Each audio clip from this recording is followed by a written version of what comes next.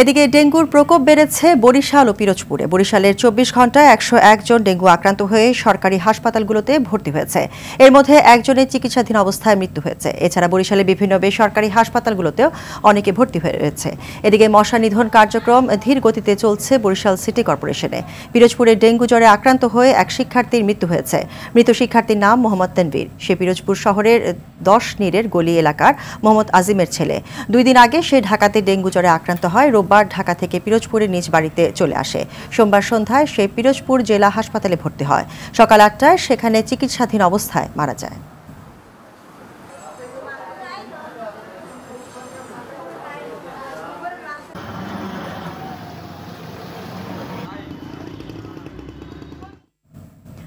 দর্শক, ডেঙ্গু পরিস্থিতি জানাতে বরিশাল থেকে সরাসরি যোগ দিচ্ছেন সহকর্মী আরিফুল ইসলাম। আরিফ ডেঙ্গু রোগের সংখ্যা বেড়েই চলছে, তো প্রশাসনের পক্ষ থেকে কি কি ব্যবস্থা নেওয়া হয়েছে বিস্তারিত জানাবেন।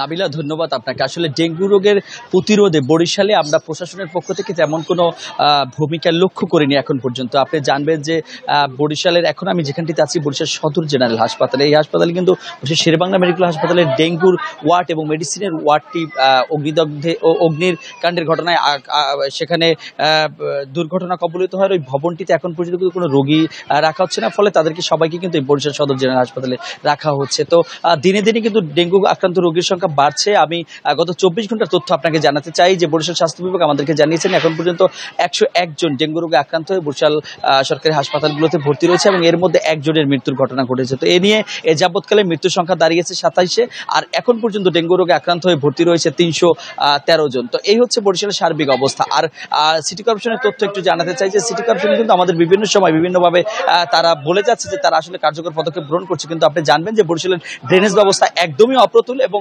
সেই ড্রেনেজ ব্যবস্থার কারণে সেখানে কিন্তু বিভিন্ন ধরনের মশার আর সৃষ্টি হয়। এগুলো বরিশাল সিটি কর্পোরেশন জানার পরেও যেহেতু এখন নগর পিতাবিহীন, তো এই মুহূর্তে কিন্তু বরিশাল বিভাগীয় কমিশনের দায়িত্ব পালন করছেন সিটি কর্পোরেশনের এবং তিনি দায়িত্ব পালন করার পর পরই কিন্তু সিটি কর্পোরেশনের এই যে ময়লা আবর্জনা পরিষ্কার পরিচ্ছন্নতার একটি সময় তিনি শুরু করেছিলেন। কিন্তু হঠাৎ করে বৃষ্টি এবং বর্তমান দেশের প্রেক্ষাপটে সেটিও কাজ বন্ধ হয়ে যায়। সুতরাং বরিশালে কিন্তু প্রতিদিনই এখন ডেঙ্গু আক্রান্ত সংখ্যা বাড়ছে আর সিটি কর্পোরেশন যে কাজগুলো করার কথা অ্যাকচুয়ালি সিটি কর্পোরেশন কোনো কাজই করছে না। তার কারণ আপনি জানবেন, শুধুমাত্র সিটি কর্পোরেশনের ফগার মেশিন নেই হ্যান্ড স্প্রে নেই, এই অজুহাতে তারা কোনো কাজ করছে না যাওয়া বা করছে, শুধুমাত্র বরিশালের বিবেক কমিশনার, জেলা প্রশাসক, জেলা জেলা ও দায়রা জজ আদালতের কয়েকটি কয়েকটি মাত্র বাংলোতে এই মশক নিধন কার্যক্রম চালানো হচ্ছে, বাকি আসলে সাধারণ মানুষ কোনো এর সুফল পাচ্ছে না।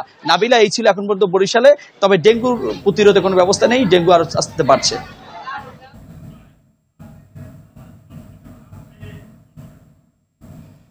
ধন্যবাদ আরিফ আপনাকে।